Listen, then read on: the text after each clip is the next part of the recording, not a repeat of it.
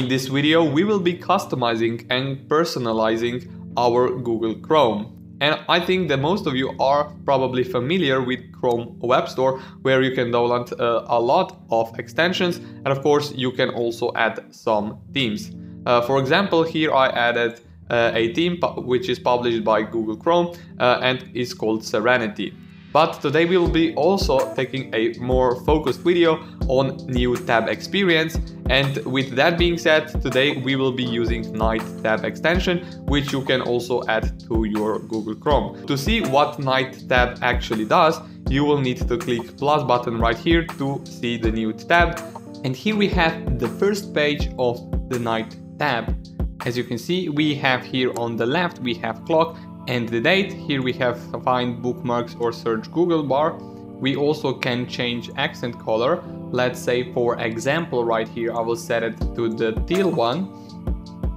And we also have the plus so we can add a new group or also a new bookmark. So the new group contains new bookmarks.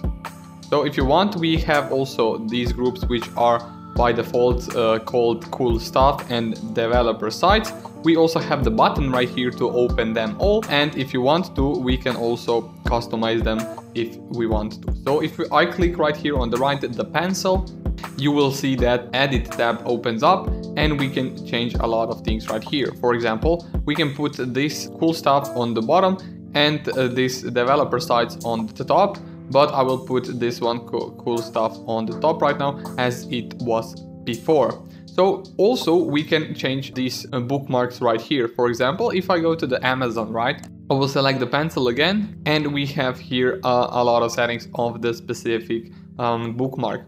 So for example, we have here show visual element, for example, letter AZ. So for the Amazon, we can also change only to have uh, Amazon logo and we also can have an image. But I think that the default option is the better one. We also have show the name option, so we can disable this or enable this to show the name. Right now I will go to the address settings of the specific bookmark settings. So address we have the basically the site which we are going to or directing to for example on, on Amazon we have the amazon.uk position so uh, in the existing group so we can put uh, this our Amazon uh, currently to the cool stuff or even to another um, group for example to the developer site. We also have the position of the bar uh, of the our bookmark. So for example, we can put it to which place you would like to. We also can create here from here the new group and we can also uh, put uh, this Amazon to the new group. So in the layout themes we also have, we can change visual size. For example, if I put it to the 40 and we also have the name size, for example, I will put it, let's say something like 20 and it looks like that right now. So we can also change visual element and name alignment. We can put it at the center, at the top, bottom, wet, whichever uh, you would like on this grid specific one. Uh, we also have the adjust visual element position, so horizontal, vertical, and we can also rotate it. So we can also rotate this specific bookmark, so it will be looked a bit rotated. So for example, like that. So also we have here the vertical, vertical and horizontal uh, alignment or arrangement. And we also have the visual element then also the name and or the name then visual element. For example let me show you that real quick. Uh, we have the name and then visual element. For example the first is the name and then the logo or the visual element. But i will put it back to the visual element then the name. I think that the gotta is separation between the visual element and the name. So if you want to you can put it a little bit closer or even you can separate them uh, even further. So I will put it back to the default. Um, if we go back to the settings right here, let me show you the theme settings for this specific bookmark. So we have the theme color or we can just pick another custom color, which is currently set to black. We also have the opacity setting right here, so the, this bookmark is seen. For example, the background of the bookmark is currently changing right now, but I will put it back to the default one, which is 100%. We also have the theme accent, which is accent defined by the theme. And we also have custom accent, so whichever custom accent we would like to set it. For example, if I set the Amazon uh, to the, let's say, not the dark, let's say something called red. Let's say the red one and now it should look red. We also have the show the background, so display an image or video background on this bookmark title. So for example, right now it should uh, show a background. For example, I can set it uh, from the, the some specific site or also a video for the specific bookmark. We also have the opacity, same settings as before. So if we continue, let me show you further some settings for Night tab. For example, you have here presets, some of them also have a live background, for example this one Vanadium one has live background. We also can save current theme. We also have style or for example we can put it to the light mode or even automatic so it follows the system light or dark mode. We can also here change primary primary color. We also have here accent color. Uh, we have the blue one, for example, let's say the pink one, um, and it looks like that right now. We can also add some random, random accent color on load or refresh. For example, if I put it to the pastel, I will click randomize now and it will look like that. Moving on to the font section, uh, we can also change the font of the current theme. But for example, if I click on the Google font and choose whichever font you like. For example, in, in this tutorial, I will show you that with Open Sans, which looks quite nice in my opinion. I will put it here, paste it here to the display font and right now it should change the current font on the, the default uh, theme of Night tab.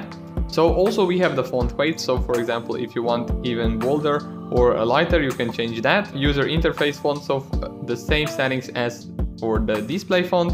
We also have the radius. I think this radius setting is quite um, unique and also you can change um, so the curvature of your uh, UI. For example, if I set it to let's say something like 300, you will see that the it's really curved right now. These settings are really really quite curved. And I think this one looks quite nice. So the shadow, we can also change the shadow the shade opacity and shade blur. Opacity, I think that this one says it all. So here we have the toolbar, bookmark, search box and open all. So currently is set on 100 everything. I will put it just tweak a little bit settings right here and I will show you how it looks like then and or before. So let me show you that this one's right here. It looks like that right now. If you go to the background, so you can change the background uh, using accent custom color, gradient, image, or even video. So video should be in uh, with ending on .mp4 and will also need to be uh, stored online, so on the web. Layout, we can also change the layout background color, currently set on transparent, and we can also choose custom color for that. For example, if I put it to the red, it should look like that background opacity, background blur. So we also have here divider between header and bookmark area. So we can add a simple divider between these two. So header, we can also set the header background color. We can also use the custom color for that. So on the bookmark section right here, um, we can also set it as transparent or custom color and we can also add bookmark border. Moving on, that uh, that bookmark order border will look like that. So I think this one looks a little bit big right now. I will set it to 2 and this one looks nice. So right now if I show you also if you want to use custom theme. So if we go here to the data, we have here import data so we will we can uh, import the custom theme that we found on the web and downloaded it and we also can apply it right here. We can also export our theme that we just created. For example, if I click here to export data, right now JSON file uh, is created and saved into my download files. But if I show you, let's say, how to actually see the brand new theme that I downloaded from the web. So if I click here, import data, I will go here theme 7 which is the custom theme, theme that I found on the web or their night tab uh, github. I will click open right here and as you can see it says success we can click here import and right now the theme should override and it looks like that i think this theme looks quite nice in my opinion so uh, a lot of things has changed uh, we for example we have here uh, another uh, bookmarks uh, without any groups. For example, it looks quite nice and we also have the clock on the right. For example, previous theme, uh, it was on the left. So if I go back to the settings, I will show you also how to reset night uh, tab uh, settings. So back to the default. For example, you will click here, clear all data, and your settings should be reverted back to the default. So I will click here, clear all data, and right now it looks like the default um, night tab. So with that being said, thank you again for watching this video. Consider subscribing to this channel and also like this video. And with that being said, thank you for watching and I see you guys in the next one. Peace.